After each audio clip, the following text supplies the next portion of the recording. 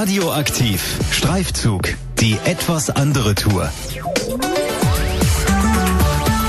Vor einiger Zeit waren sie bei uns in Niedersachsen noch durch die wenig geschmackvollen senfgelben Hemden und die jägergrüne Uniform zu erkennen. Die Polizei. Mittlerweile tragen die Gesetzeshüter bei uns marineblau. Die Polizei, wie wir sie heute in Niedersachsen kennen, ist noch relativ jung. Erst nach dem Zweiten Weltkrieg formiert sich das Land Niedersachsen und damit auch die Polizei. Ich bin Eva Strohdeicher und nehme Sie heute mit auf einen Streifzug durch die Geschichte der Polizei. Und das geht am besten im Polizeimuseum in Nienburg.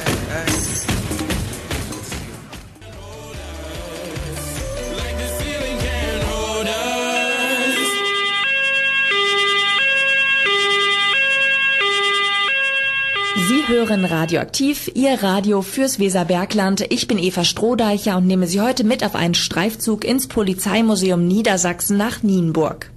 Das Museum wurde bereits im Jahr 2000 gegründet, erklärt Ausstellungsleiter Dirk Götting.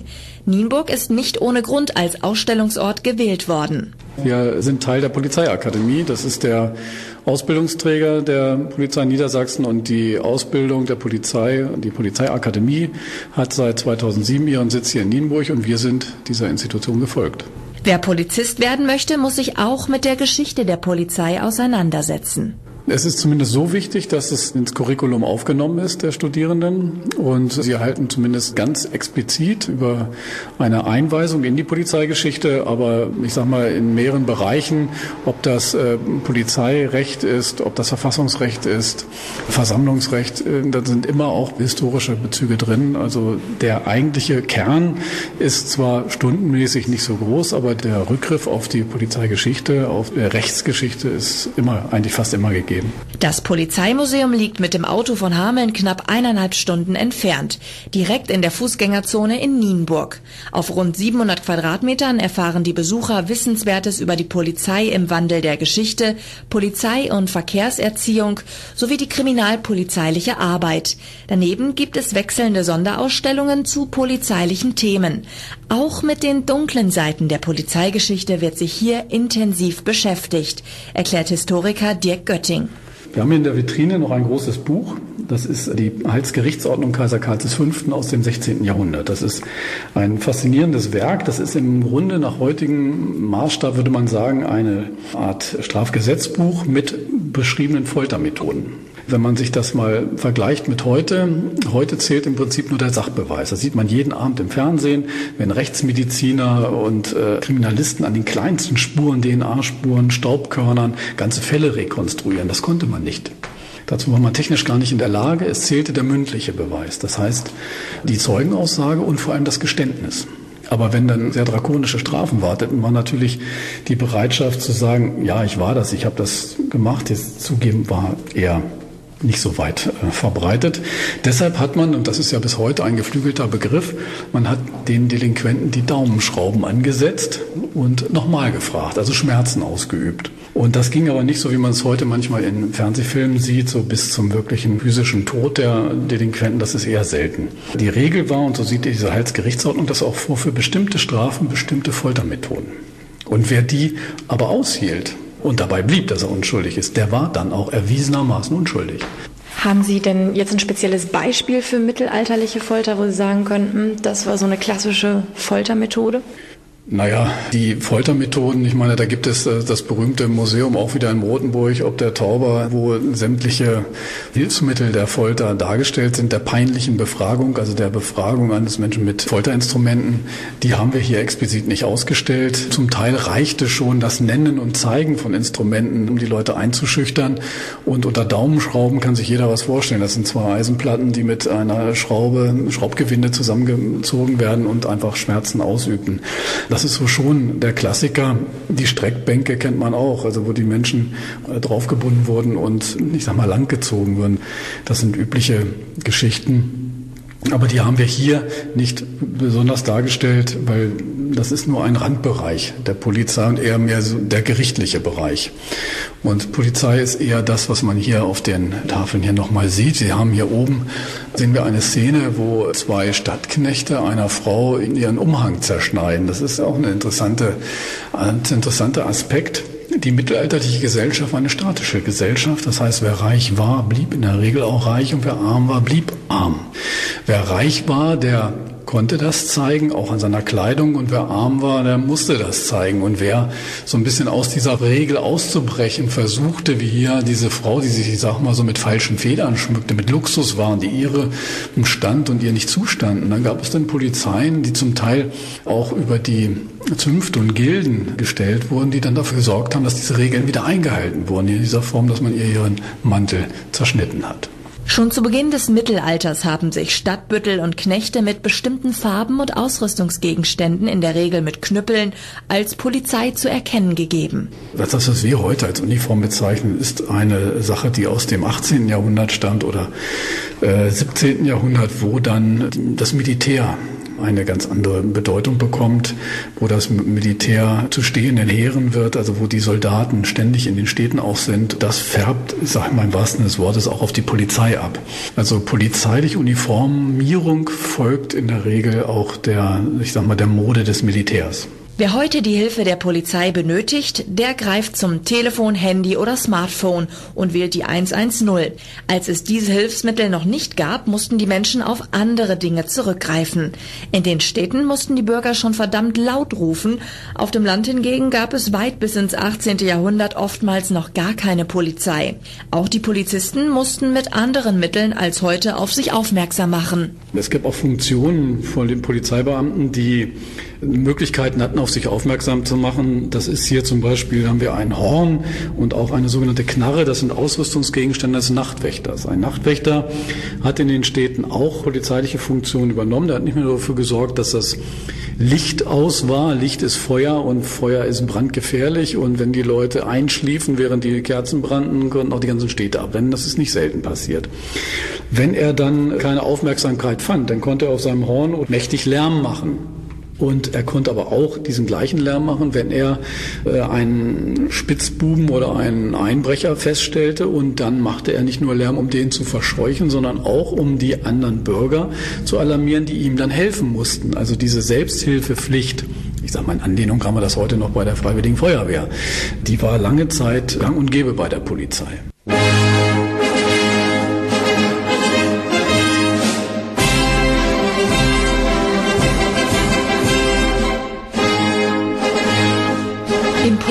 Museum wird auch der Einfluss des Militärs auf die Polizei anhand von Schautafeln und verschiedenen Exponaten beschrieben. Polizei und Militär. Eine nicht ganz unproblematische Beziehung, weiß Historiker Dirk Götting. Es geht zurück bis ins 17. Jahrhundert, als in den Städten nach und nach ständig Soldaten unter Waffen gehalten wurden. Also bis zum Dreißigjährigen Krieg gab es ja eigentlich nur Soldaten, wenn es auch wirklich Krieg gab. Und dann bis auf wenige, die dem Fürsten und den Königen folgten, waren das Ausnahmen. Jetzt gab es in fast jeder Stadt, jeder größeren Stadt eine Garnison, der gehörten Soldaten an, die aber nicht in Kasernen untergebracht waren, sondern in den Bürgerhäusern, je nach Stand. Die gingen auch Patrouille, also Streife und haben die Polizei lange Zeit unterstützt. Das heißt, bis zum Ersten Weltkrieg gab es eigentlich in Deutschland relativ wenig Polizei, weil wenn es mal dicke kam, dann konnte die Polizei auf die Armee, auf die Soldaten zurückgreifen. Das ist aber ein schwieriges Verhältnis, weil Polizei und Soldaten haben und Militär haben eigentlich unterschiedliche Aufgaben. Während das Militär einen Feind hat, den es im Zweifelsfall mit allen Möglichkeiten und Waffen auch niederzukämpfen hat, hat eine Polizeiaufgabe angemessen zu reagieren, Gewalt nur als letztes Mittel anzuwenden, im Rahmen der Verhältnismäßigkeit zu handeln. Und das sind zwei verschiedene Schuhe. Die waren auch im 19., Beginn des 20. Jahrhundert bekannt, wurden hier in Deutschland nur noch nicht so umgesetzt. Und das Verhältnis Militär und Polizei sieht man auch daran, dass wir in der 1848er Revolution wurden aus den Städten, wurde das Militär verjagt weniger die Polizei, weil die Polizei, die wenigen Polizisten, die hat man in der Regel dann da drin gelassen. Das war nicht gefährlich, aber das Militär war gefährlich.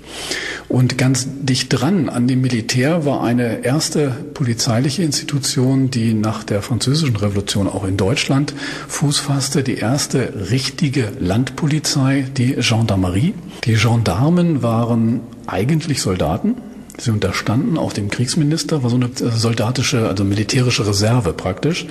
Nur in Friedenszeiten waren die Gendarmen für polizeiliche Aufgaben einzusetzen. Wir haben hier in einer Vitrine einen Herrn stehen in einer prunkvollen Uniform. Das ist ein Landrat. Das ist kein Gendarm, sondern der Landrat, der den Gendarmen Aufträge geben konnte.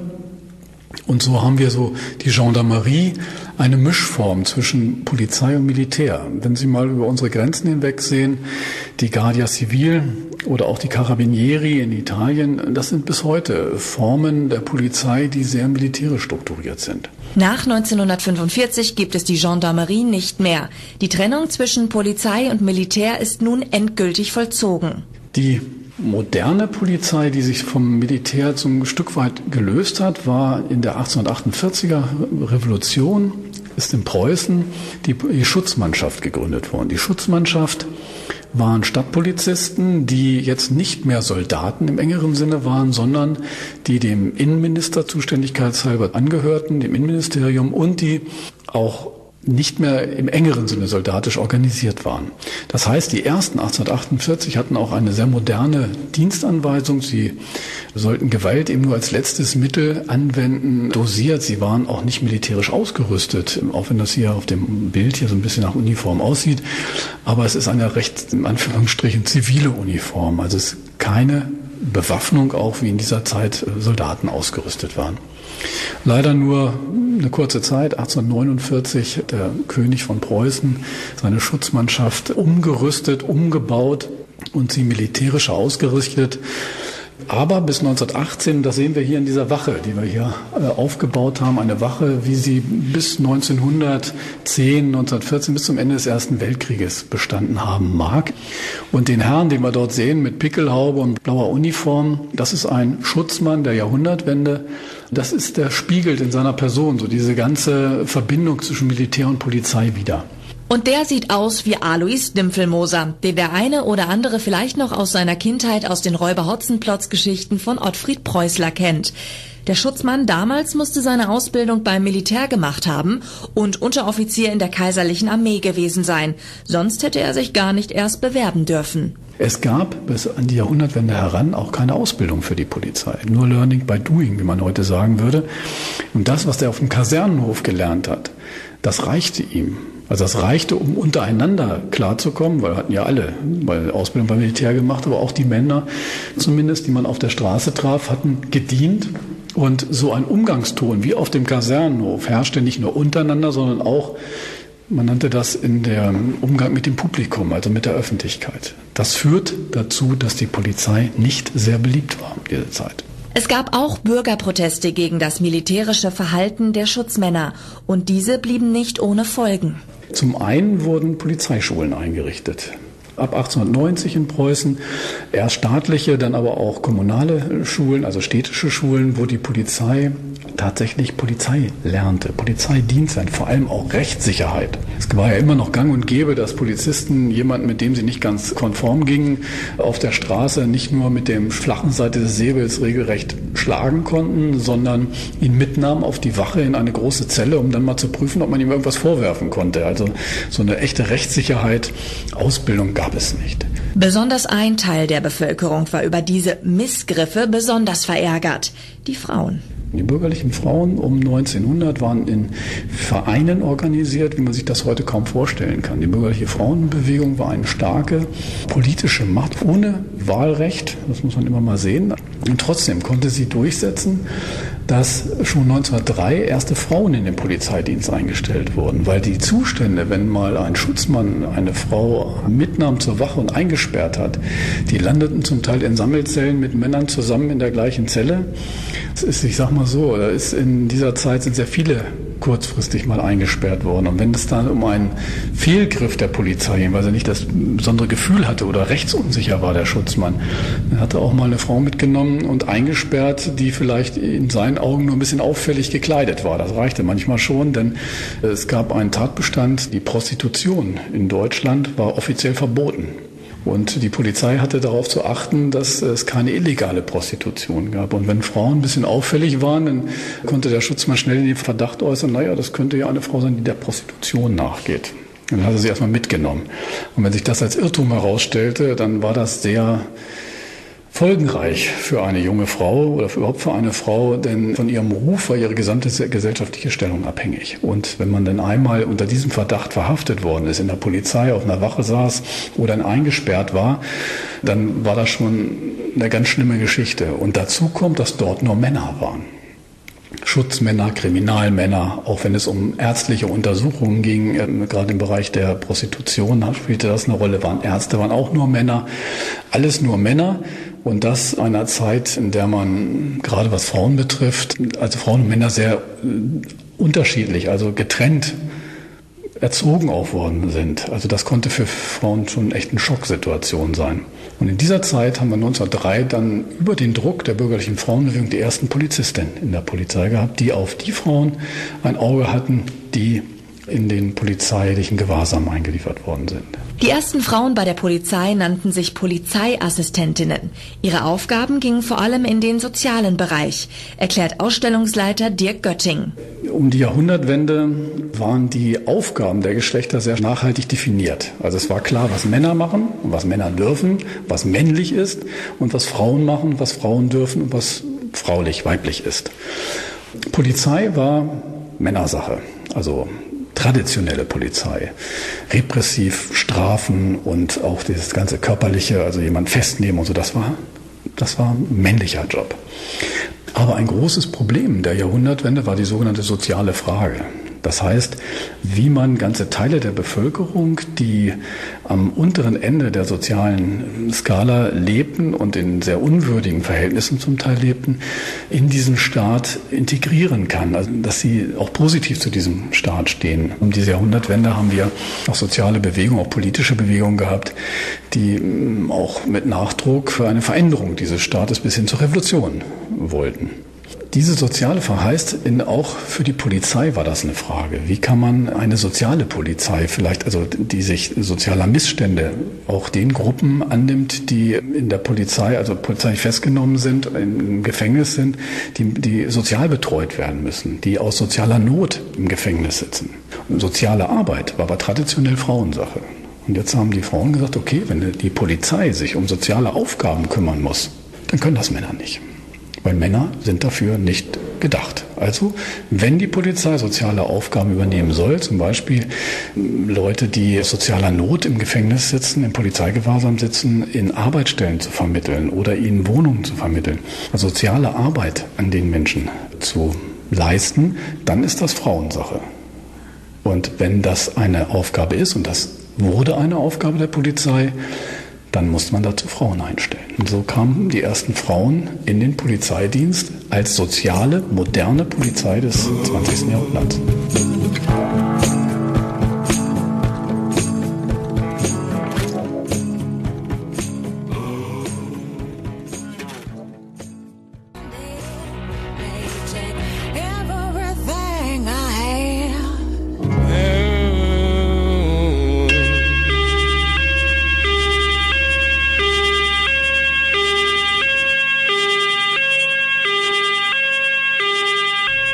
Da aus Ihrem Radio kommt, ist radioaktiv. Ich bin Eva Strohdeicher und nehme Sie heute mit auf einen Streifzug ins Polizeimuseum Niedersachsen nach Nienburg.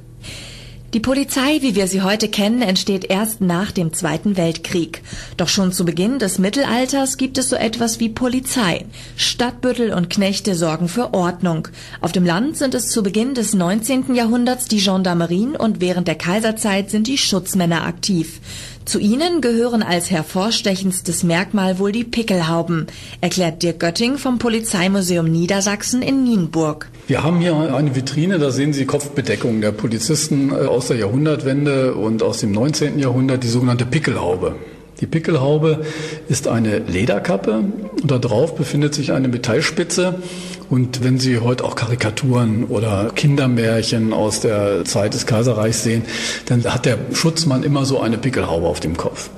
Vielleicht noch mal so ein Wort dazu, warum das so aussieht. Das ist nicht nur ein, ein Schönheitsideal dieser Zeit, sondern das ist ursprünglich eine militärische Kopfbedeckung. Sie besteht aus Leder. Die Waffe der Zeit war der Säbel und wenn man mit dem Säbel einen Schlag auf diese Kopfbedeckung, auf diesen Helm bekommt aus Leder, dann ist nicht nur der Helm kaputt, sondern auch der Kopf. Und deshalb hat man auf diese Lederkappe Metall aufgeschraubt.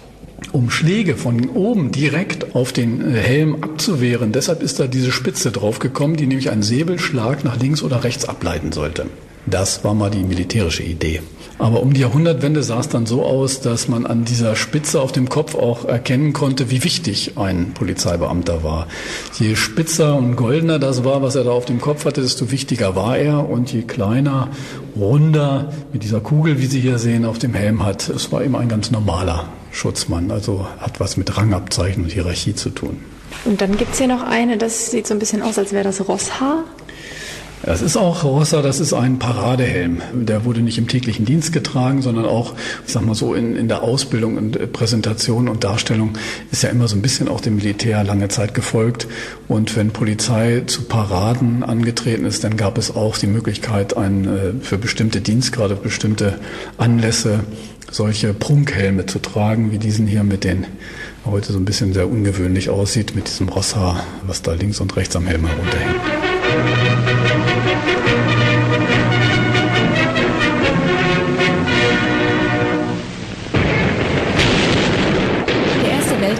Aber vor allem der Zerfall des Deutschen Kaiserreichs hat die Polizei nachhaltig geprägt. Der Zerfall eines Reiches bedeutet hier auch ein Trauma für die Polizei. Die Revolution 1918, 1919 hat die Polizei, aber auch den Staat verändert, und zwar sehr nachhaltig. Die Beginn der 20er äh, Jahre, die Weimarer Republik, die erste Republik in Deutschland, äh, hat dazu geführt, dass es eine strikte Trennung zwischen Militär und Polizei erstmals in Deutschland gegeben hat. Das heißt, die Polizei konnte bei Auseinandersetzungen im Innern und zu Anfang der Republik gab es viele Auseinandersetzungen nicht zurückgreifen auf das Militär. Deshalb musste die Polizei, die jetzt eine, ich sag mal, demokratische, auf dem Weg einer demokratischen Polizei war, eine demokratische Polizei zu werden, selbst Institutionen schaffen, also Einheiten schaffen, die äh, notfalls auch mit sehr militärischen Mitteln gegen bürgerkriegsähnliche Unruhen im Staat vorgehen konnten. Das sehen wir hier auf der einen Schautafel, da sehen wir praktisch Leute, die aussehen wie Soldaten mit Maschinengewehr und auch mit einem Panzerfahrzeug da unten. Das sind erste Verbandspolizeien, also Polizeien, die kaserniert waren und wie Militär ausgerüstet waren. Aber sie waren Polizisten. Und das ist der große Unterschied. Wir haben jetzt eine nachhaltige Trennung zwischen Polizei und Militär und in den 20er Jahren setzen die großen Reformen der Polizei ein in der Republik. Augenfällig in Preußen der Namenswechsel. Die Gendarmerie heißt nicht mehr Gendarmerie, sondern Landjäger. Die Landjägerei, das war kein beliebter Name für die Gendarmen, ehemaligen Gendarmen. Aber man wollte deutlich machen, dass jetzt auch die Gendarmen keine Soldaten mehr sind, sondern sie gehören jetzt auch wie die normale Polizei dem Innenressort an und deshalb bekamen sie einen neuen Namen Landjäger.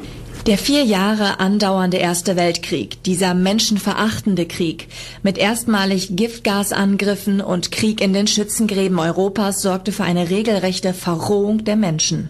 Zum anderen müssen Sie sich vorstellen, ist der Erste Weltkrieg nicht so zu Ende gegangen wie der Zweite, wo hier praktisch alliierte Truppen durchzogen und die Reste der Soldaten entwaffnet haben. Also der Erste Weltkrieg ist mit einem Waffenstillstand zu Ende gegangen und die Soldaten sind äh, mehr oder weniger geordnet von den Grenzen von der Front weg in, in die Heimatstandorte gezogen mit voller Bewaffnung. Ein Großteil der Kriegsbewaffnung fand sich plötzlich hier im, ja, im Innern wieder. Die hatten die, die Leute dabei. Manche Einheiten haben sich auch aufgelöst. Es gab Freikorps. Die waren so halblegale Institutionen, die mit der vollen Kriegsbewaffnung weiter gekämpft haben. Hier jetzt im Auftrag zum Teil der neuen Regierung, der demokratischen Regierung. Also das war Zustände, die man sich heute so nicht vorstellen kann. Das hat natürlich Folgen für die Polizei gehabt, die dann auch dementsprechend korrespondierend bewaffnet werden musste, wie hier zu sehen, eben mit Maschinengewehren und auch mit Panzerwagen. 1919 musste man nicht mehr zwangsläufig beim Militär gedient haben, um sich als Polizist zu bewerben. Dennoch waren die Eignungstests, denen sich die Bewerber zu unterziehen hatten, immer noch sehr militärisch angelegt, weiß Historiker Dirk Götting. Wir haben eine Schautafel, die typische Tests wiedergibt, bei dem die Begriffe aber manchmal so ein bisschen irritierend sind. Hier geht es um die Willensenergie in dieser einen Prüfung. Willensenergie, was macht der Delinquent? Da, da sieht man ein Metallrohr, da drin ist eine Spirale und er muss äh, gegen einen diesen Federdruck muss er einen Metallstab aus diesem Rohr ziehen und das möglichst lange festhalten. Wir sehen auch eine Prüfung, in der ein äh, Polizeibewerber, ihm sind die Augen verbunden worden. Er hat einen kleinen Gummiblasebalg in der Hand. Der Schlauch geht zu einem Aufschriebgerät. Neben ihm steht ein Prüfer, der hat eine Pistole in der Hand und der schießt mit der Pistole und wenn sich der Delinquent, also der Geprüfte, zu sehr erschreckt und zu doll auf den Blasebalg drückt, dann gibt es einen Aufschrieb auf dieser Tonrolle und der Aufschrieb eine bestimmte Höhe überschreitet, dann ist er für den Polizeidienst ungeeignet. Also man sieht, man ist noch sehr hart an, der, so militärischen Prüfungen, ja, indem man auch den Eignungstest der Polizei ausrichtet. Auch bei den Uniformen gab es ja im Laufe der Zeit verschiedene Wechsel. Hier sehen wir jetzt eine Uniform in Blau. Ich kenne noch die Grünen und jetzt sind sie wieder blau. Äh, dieses Farbenspiel Blau-Grün wird uns, glaube ich, immer beschäftigen. In Preußen nach 1919 hat man beide Farben gehabt. Also die Landpolizei, die jetzt nicht mehr Gendarmerie, sondern Landjägerei hieß, die Landjäger trugen eine grüne Uniform und die Stadtpolizei, die Schutzmänner eine blaue und also grün und blau gleichzeitig. Wir haben einen Wechsel gehabt nach 1976, als es in allen Bundesländern eigene Uniformen gab war das Verhältnis 50-50 etwa zwischen Blau und Grün. Es ja immer noch Polizeien, auch in Deutschland, die dem blaue Uniform noch nicht gefolgt sind. Wir, ich glaube, die Einheitlichkeit, wie wir sie bei der grünen Uniform vor einigen Jahren noch hatten, werden wir in Zukunft so nicht mehr haben. Aber der Grundtenor ist, äh, Polizei ist, hat eine blaue Uniform. Einzig die Polizei in Bayern setzt derzeit noch auf Grün. In den anderen 15 Bundesländern hat sich zumindest im Moment Blau durchgesetzt. Das wohl dunkelste Kapitel der Polizei in Deutschland. Die Zeit zwischen 1933 und 1945. Diesen Zeitraum kann man nicht in der Weise darstellen, wie das, was davor war oder danach kommt, erklärt Historiker Dirk Götting.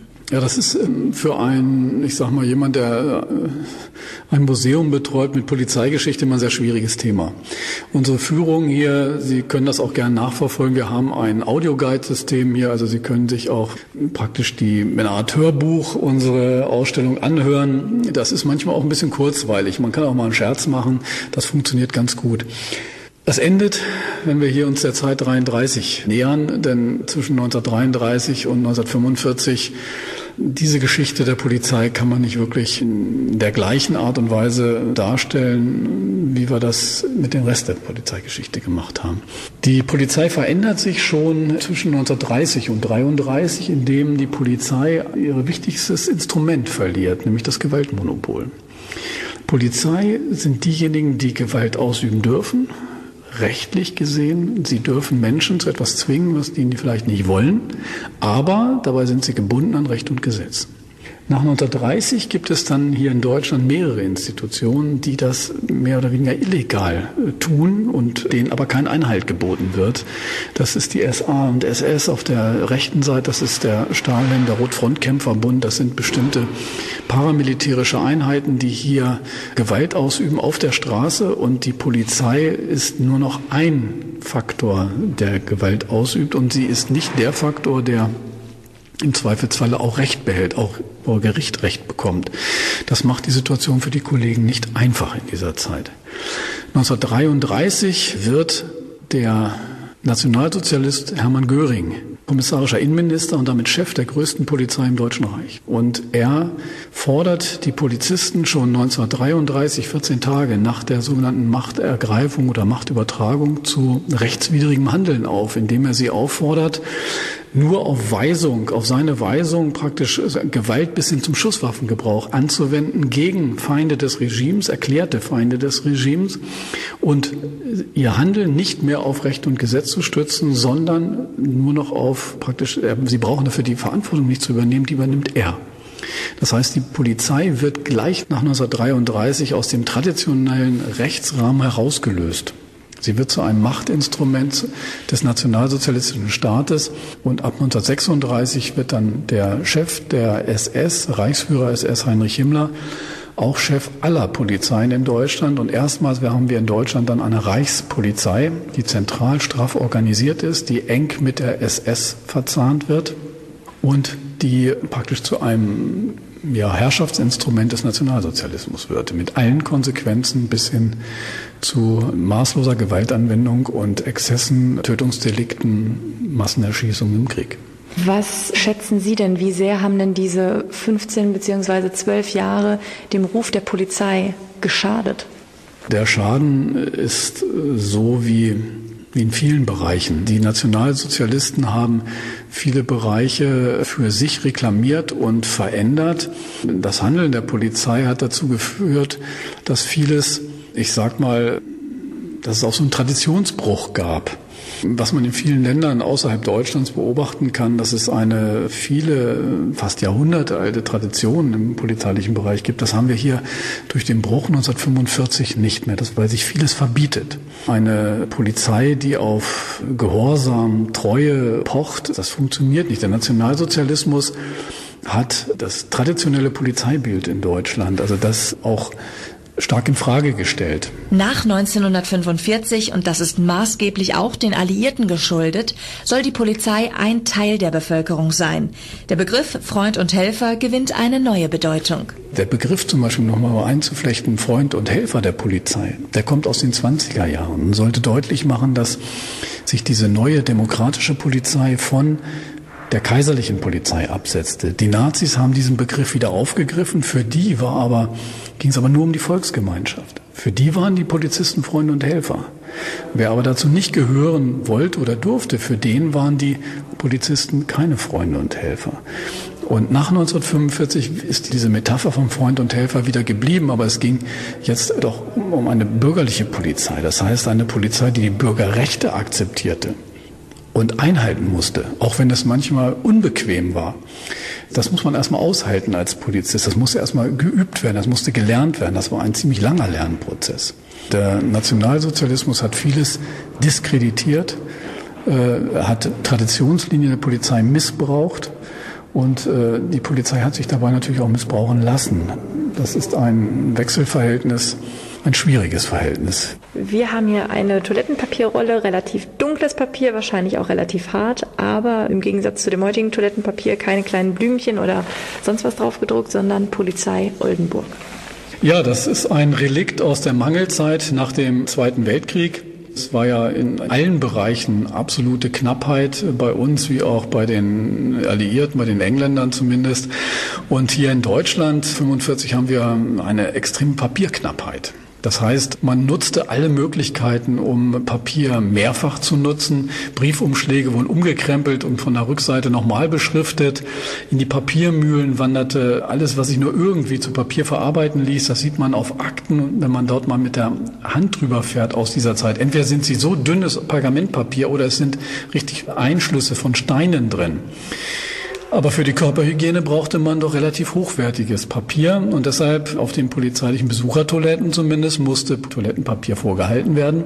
Damit es nicht entwendet wurde, wurde ein Eigentumsnachweis draufgedruckt und deshalb steht hier Beispiel Polizei Oldenburg drauf. Und das hat sich so gut bewährt, dass wir dieses Papier bis heute niemand mitgenommen hat und wir haben es deshalb im Museum hier ausstellen können. In der Ausstellung nähern wir uns im ersten Geschoss dem Ende.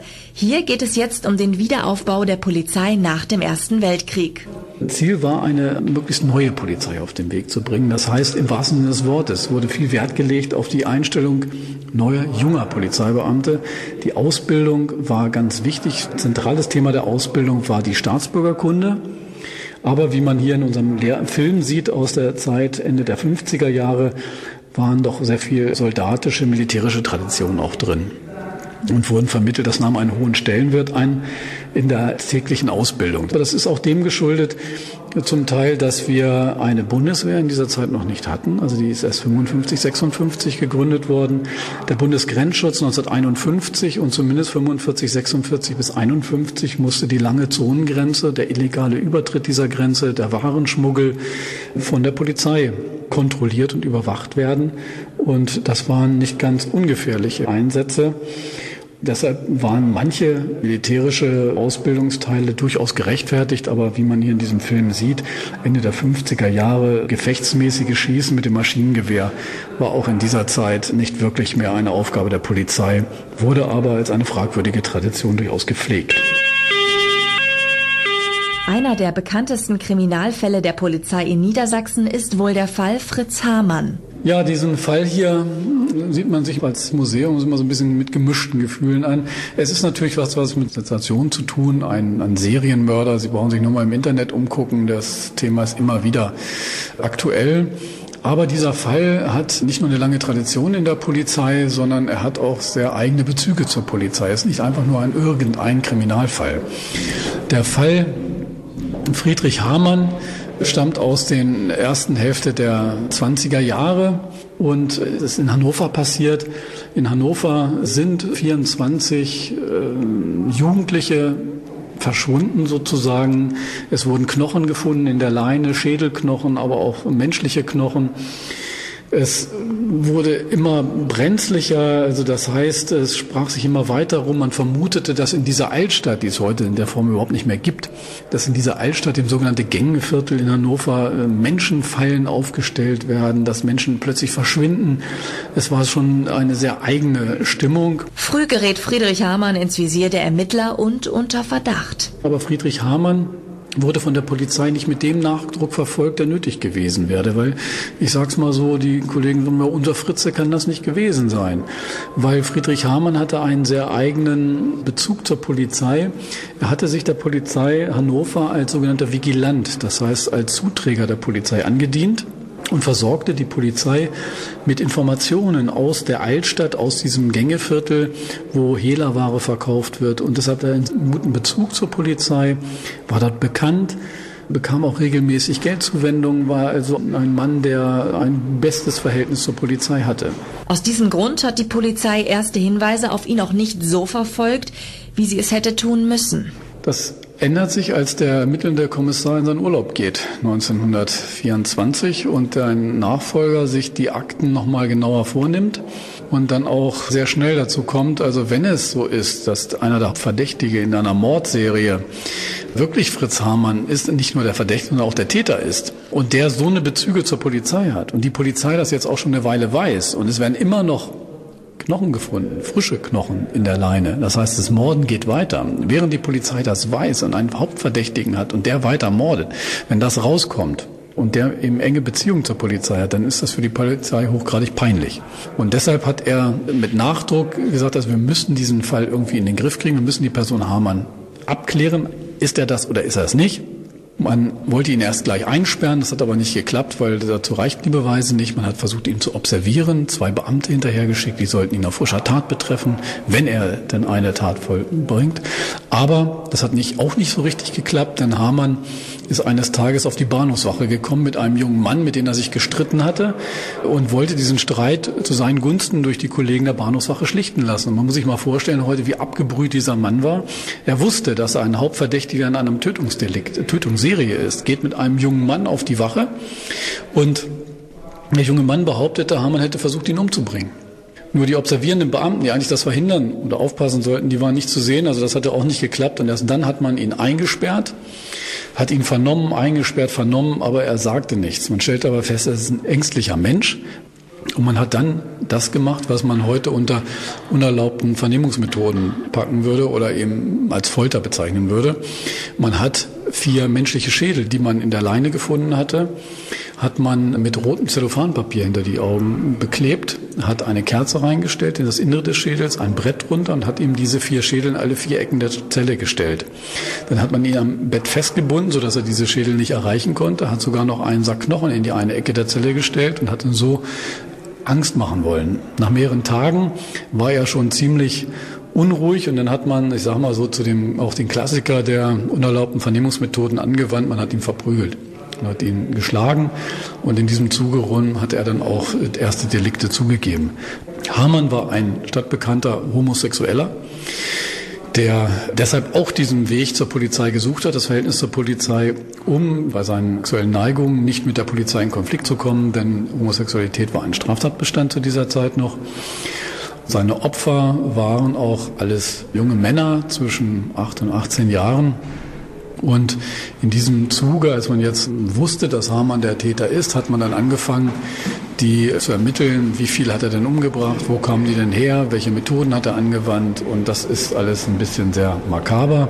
Ich will das nur kurz nochmal auf unser Beil eingehen, was ja doch bekannt ist. Wir haben ein Tatwerkzeug, bei dem eine gewisse Wahrscheinlichkeit besteht, dass es das auch wirklich gewesen ist. Hamann hat seine Opfer in sein Zimmer gelockt und zwar durch seine polizeiliche Autorität. Denn er galt ja als Zuträger der Polizei sogar mehr. In Unterweltskreisen galt er als Polizeibeamter. Und er hat Jugendliche regelrecht, ich sag mal, verhaftet, mitgenommen, sich als Kriminalbeamter ausgegeben, sie in sein Zimmer gebracht, sich an ihnen sexuell vergangen, ihn dabei den Kehlkopf durchgebissen. Deshalb hieß er in der Presse der damaligen Zeit auch Vampir von Hannover. Und hat am nächsten Tag diese Leichen mit dem Beil zerhackt und in die Leine entsorgt. Und so kamen die Knochen da rein, deshalb das berühmte Beil. Und als das alles bekannt wurde, gab es noch einen besonderen Umstand, der diesem Fall ähm, eine traurige Berühmtheit einbrachte. Seine Vermieterin in dem Haus, in dem er wohnte, Frau Engel, betrieb im Erdgeschoss ein Restaurant.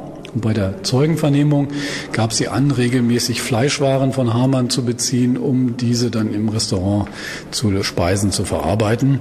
Und deshalb haben wir schon sehr früh auch rund um diesen Fall und das Gerichtsverfahren einen Gassenhauer, der in Hannover die Runde machte mit der ersten Zeile. Ich zitiere mal kurz.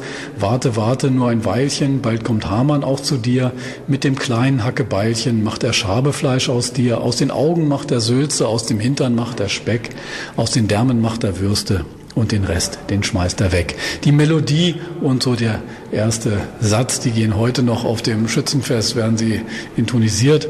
Aber es ist schon auch ein Merkmal dieses Falles, dass der die, für die Öffentlichkeit und die breite Wirkung dieses Falles. Also der Fall hat sehr polizeiliche Bezüge vom Zuträgertum, Vigilantentum über die Folter bis hin zum Verfahren und zum Vorgehen bei den Vernehmungen. Wir haben den Fall aus diesen Gründen auch wieder dargestellt, weil es ein Meilenstein auch in der Veränderung der Polizei. Die Polizei, die zum Teil Hinweise auf Hamann, auf Opfer ignoriert hat, hat noch gehandelt wie, ich sag mal, die arrogante Polizei des Kaiserreichs. Nach diesem Fall gab es dann auch disziplinarrechtliche Untersuchungen in Hannover. Die Polizei hatte verstanden, dass eine Presse zu akzeptieren ist, dass die Presse auch eine Macht hat, dass man nichts unter den Tisch kehren kann, nichts verheimlichen kann, dass das nicht zielführend ist. Und so kommt die Polizei Hannover über diesen Fall Hamann nach diesem Fall nach 1925 auch in der Republik an und ist auf dem Weg, eine moderne Polizei zu sein. Augenfällig auch daran, wir haben hier auf dem einen Banner, wo wir Bilder und den Text zu diesem Fall dargestellt haben, ein Bild, das sieht genauso aus wie das Mordzimmer, was wir noch etwas größer an der Wand haben. Das ist aber nicht das Original Mordzimmer, sondern es ist ein Nachbau, den die Polizei Hannover 1926 mitgenommen hat auf die erste große Polizeiausstellung nach Berlin. Also schon seit 1926 stellt die Polizei diesen Fall Hamann öffentlich dar. Der Fall Hamann sorgt immer wieder für Gänsehaut. Und nicht nur, weil im Museum die Geschichte dieses Falls noch einmal eindrucksvoll erklärt wird, ist das Polizeimuseum Nienburg einen Besuch wert, betont Ausstellungsleiter Dirk Götting. Polizeigeschichte zum Anfassen und Erleben im Polizeimuseum Niedersachsen in Nienburg. Ich bin Eva Strohdeicher und wünsche Ihnen viel Spaß beim Streifen durch die Region.